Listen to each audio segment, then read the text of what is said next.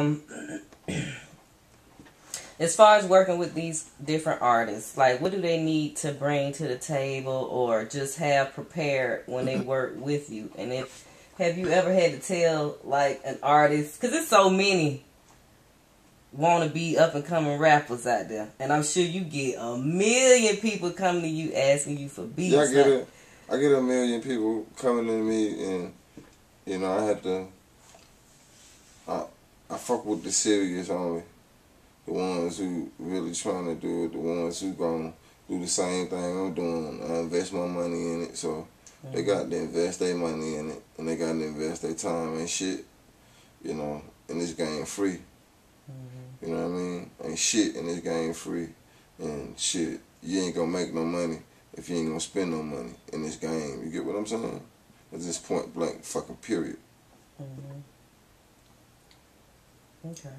So they just have to be like um said, willing to invest in themselves, and then when you see that, the, the artist, the artist, when you, the artist coming to me, it's really got to be developed. I ain't got time to play with a motherfucker. I ain't got that time to sit down and babysit a motherfucker. You know, motherfucker got to come to me ready. Mm-hmm. You know, that's how I really, really like it. You know, when the artist don't come to me ready, that shit is kind of like it's it's agitating. You know what I'm saying? Because it's it's it's agitating. Mm-hmm. You know, it's really just it's it's it's, it's agitating. You know, you know, I like money. You know, but shit, you know, time is money, so right. I got to choose my time, time, wisely. You know what I'm saying? Mm-hmm. So I try to, you know, but I think I'm getting out of that that realm of you know.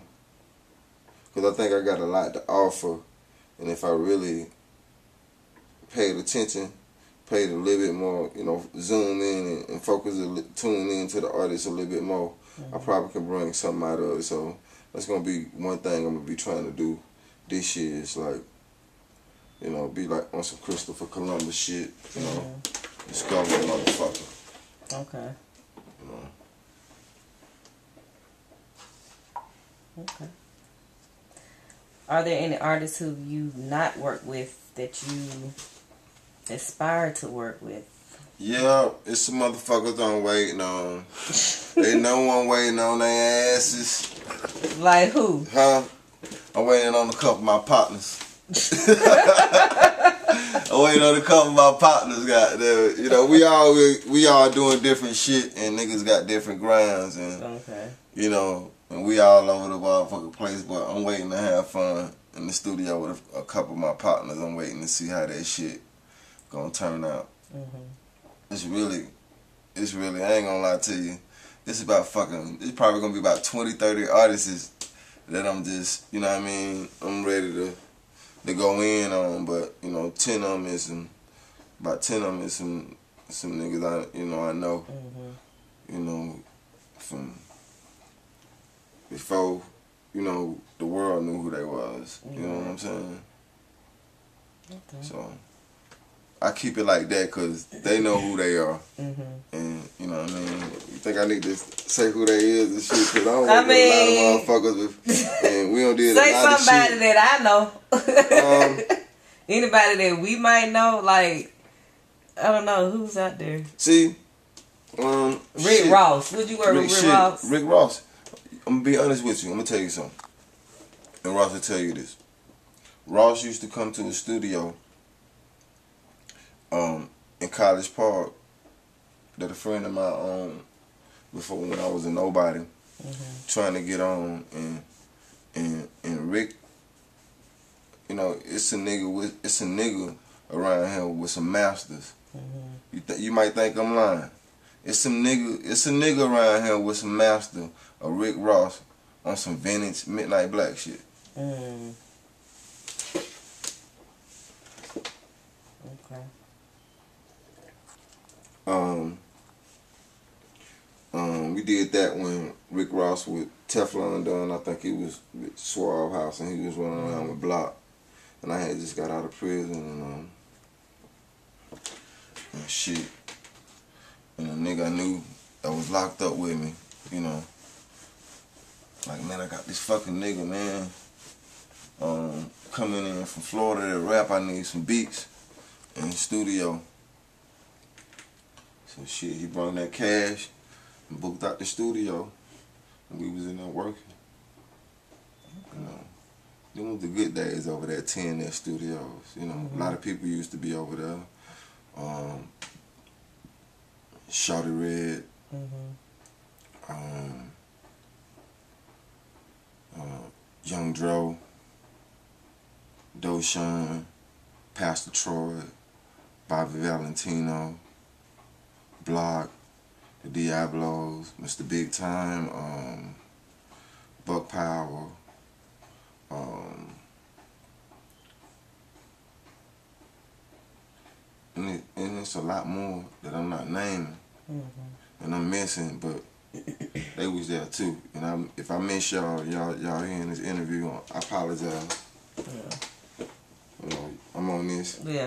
Yeah, blame it on my mind. Cause I gotta, I learn, I gotta watch what I say, cause you know what I mean. I'm from two different worlds, so you know what I mean. I'm from two different worlds, and so you know, uh, you know, I did a lot of music independently and majorly. So I got a lot of friends in music. You know what I'm saying? Yeah. I got a lot of friends. We understand. that ain't music that be like, you know what I mean? Do that shit, you know. Right. But then you be like, hold up now. You know, I got friends that push me. I got friends that really push me and get Mm-hmm. get on me and be like, hell no, nigga, that ain't no Grammy shit. Right. And you had to And got it's the, good to have yeah, yeah, yeah, of that, and, and you had to come in here and they'll come in here the next time you have to plan that shit and they be like, that's that Grammy shit. Mm-hmm. That's that Grammy shit. Yeah, and that's the only thing, you know, I haven't got yet. That Mm-hmm. we don't being robbed twice over fucking Grammy. Mm-hmm. You know, they owe us a Grammy. Mm-hmm. You know, they what owe us for the TM 101. Mm-hmm. And they owe us a Grammy for that fucking recession. Mm-hmm. They robbed us on that one. Yep, y'all robbed us for our fucking Grammy on the recession. I said it. He get it And the Kanye on 101. it. And the TM 101. Oh, they used to be doing out goddamn. They probably used to be doing verses out there.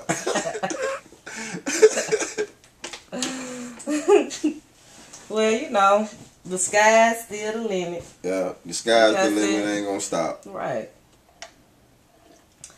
Okay. Excuse me, y'all. It's Christmas time. You know, TM 103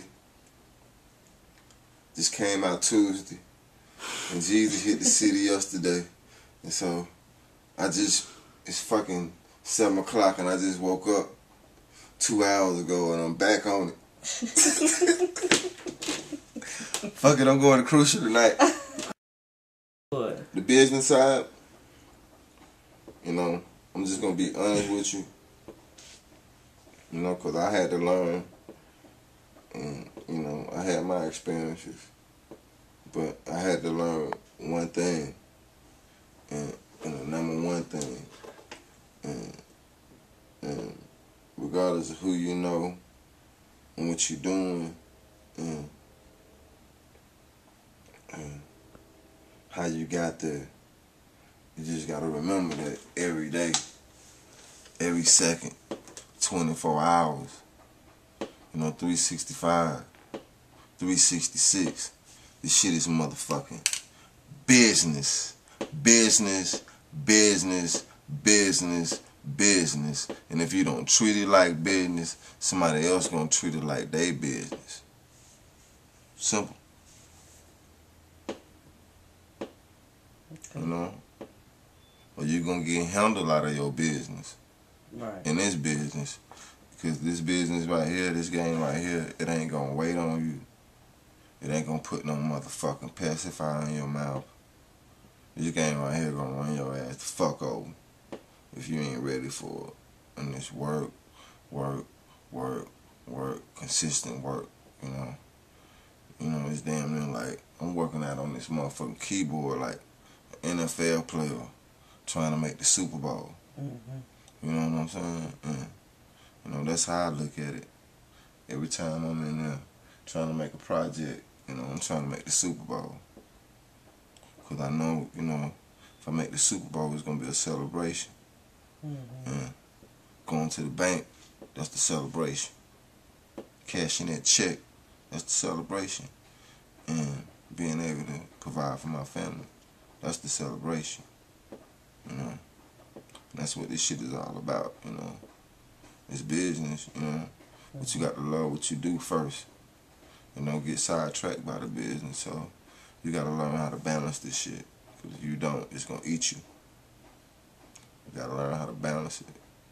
It's gonna rip your ass up.